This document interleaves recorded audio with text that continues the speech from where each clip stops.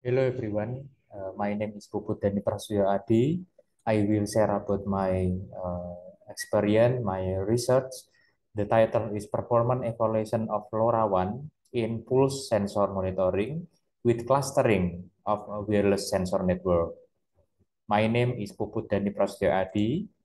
Uh, the essential point uh, from this research is about analysis of chip uh, or GSS. GSS is abbreviation from uh, chip split spectrum technology. This is a modulation type use uh, LoRa. LoRa have uh, ability more than five kilometer on the line offset. This is uh, from my measurement. Uh, might be from the another researcher. Uh, this is can be uh, 60 or 65 kilometers uh, and more than 100 kilometers uh, with the another uh, long range type. And the ability of uh, LoRaWAN is uh, have uh, uh, low power uh, using only battery. This is uh, up to uh, one years.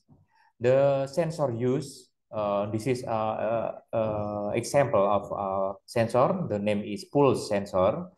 And this, this pulse uh, have a function to detect the pulse sensor from the uh, body of the human or patient with uh, beat per minute data. And the, the manuscript analyze, this is about the clustering, LoRaWAN, and not and how to uh, get the best, yeah, uh, or suitable or effectiveness, the clustering method to build the LoRaWAN technology. And from the clustering uh, heat, this is uh, the best result, uh, the best method to obtain the uh, average total power consumption on the milliwatt with the LoRaWAN approach. So this is uh, comparisons with uh, LoRaWAN technology with another technology for example, is uh, Sigfox, LoRa, and NB-IoT. Uh, LoRa have uh, uh, ability to share the data with the the bandwidth about 125 kilohertz bandwidth to uh, more uh, the long uh, range uh, transmit data and this is uh, uh, divided by the splitting factor 7 to 12. Splitting factor say about the uh, ability to TX to RX uh, and the use uh, time on air parameter or uh, time to uh, uh, use the TX until the RX. This is time on air. If the long long range distance, this is have uh, parameter about the splitting factor. Splitting factor 7 say the the, the distance short from TX to RX and the 12 splitting factor this is say about the long range or uh, the big time on air from TX to RX. This is about the comparisons about the bandwidth, data rate, coverage, uh, battery life, and cost and ecosystem. So LoRa have a data rate about uh, 0.3 uh, until 50 kilobyte per second. And the coverage, uh, this is around 14 kilometers, and this is can increase with the parameter on uh, TX, for example, uh, Omni decibel isotropic antenna on the TX or uh, line of sight conditions. And the cost is very uh, cheap and uh, the battery life is uh, 5 to 10 years. So this is a very long time to send the data, uh, go to the uh, another place and go to the gateway directions with the uh, algorithm maybe can uh, be able to uh, to be more effectiveness of effective from uh, sending data process. And this is my design. Yeah, the first design to to indication to make the effectiveness of a battery life from the anode go to the smartphone. So uh, if the every node send go to the uh, smartphone directly, for example, uh, the sensor, the inner sensor go to the smartphone uh, via the internet server, this is uh, not efficient because uh, this is say about the time on air. Timing, uh, time on air or uh, transmit data need the energy, the big energy to send the data go to the the long range uh, and uh, not effective because uh, maybe the data can be more lost and uh, make the correlations, correlation data or the the bottlenecks data. So this is make a packet loss, the, the big packet loss from uh, uh, that uh, sending data process directly.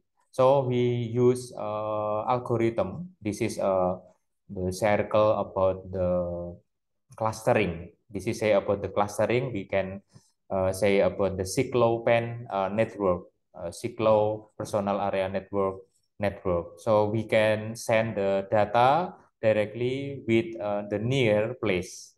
This is a near place. This is a near place. So if uh, near with the uh, anode, so we we can send data and send data again go to the edge router.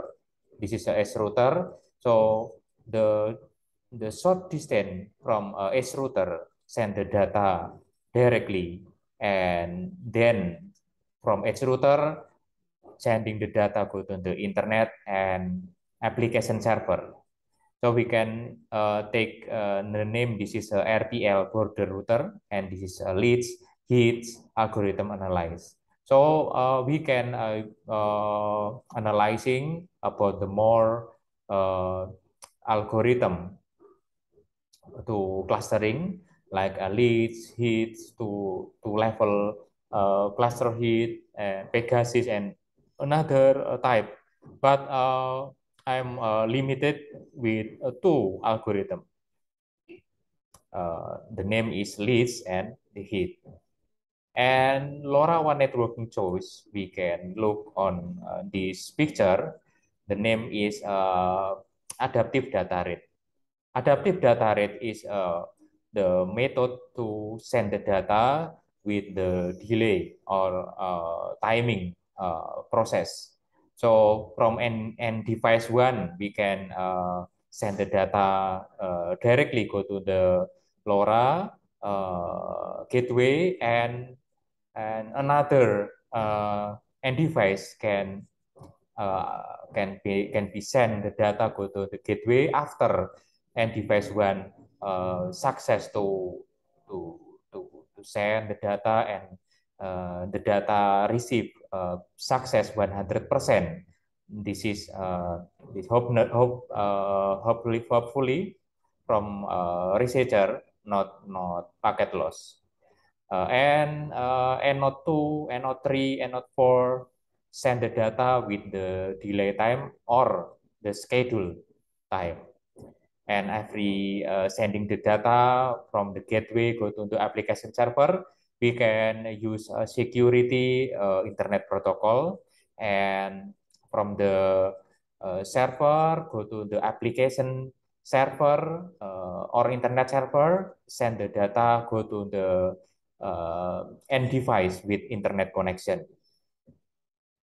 and this is a adaptive data rate uh, algorithm uh, for example, uh, like uh, this algorithm or this step. Number one is check uh, adaptive data rate schedule point in the uplink message.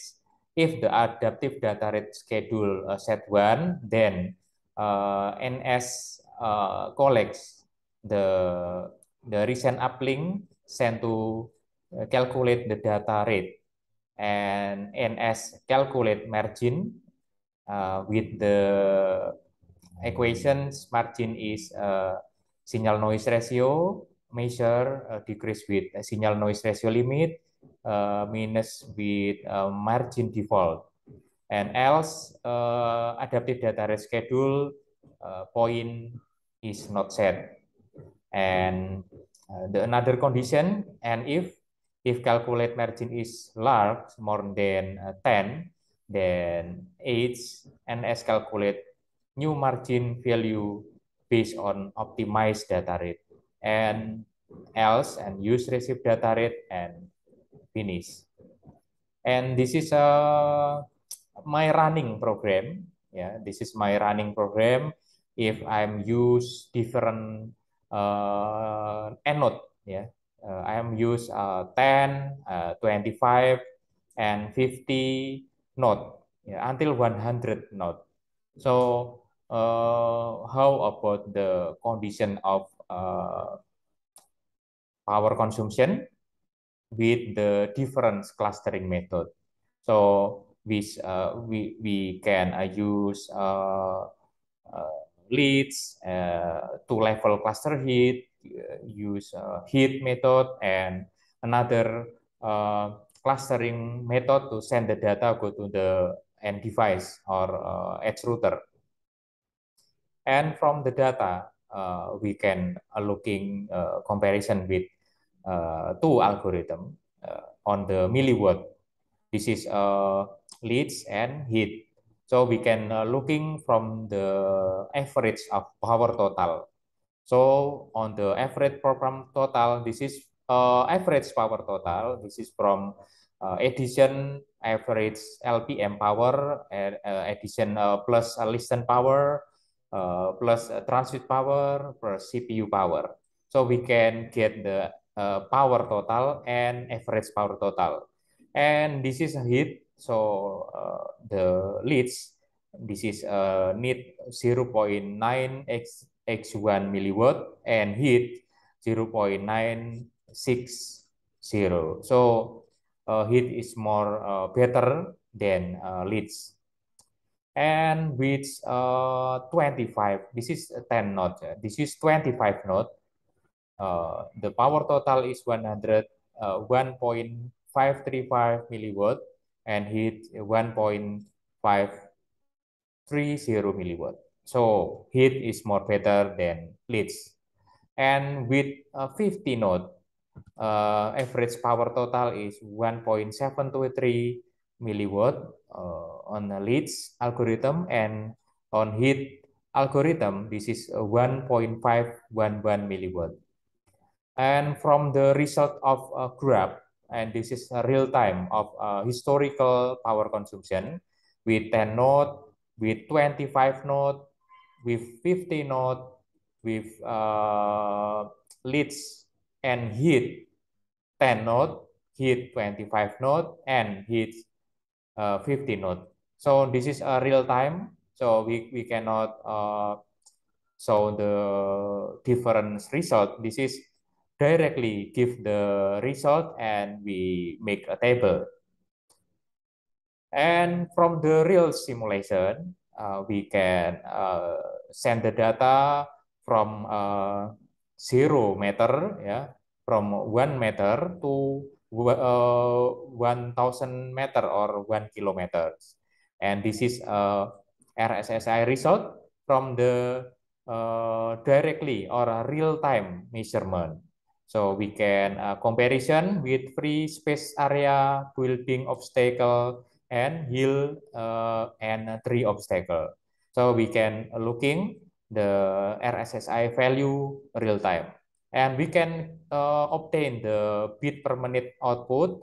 This is a data from a pulse sensor directly from TX to RX. And on the simulation result, we can uh, looking the signal LoRa 915 megahertz with a signal analyzer. And this is uh, my capture capturing the spectrum of uh, LoRa signal 915 uh, megahertz and the power signal is around the uh, minus uh, 30 uh, and minus 40 dBm on the one meters. And this is uh, uh, another of uh, signal signal LoRa 915 with signal analyzer. We can looking the power, uh, signal power, and the spectrum uh, like uh, this uh, picture, this is show about the minus 30 dBm uh, signal power.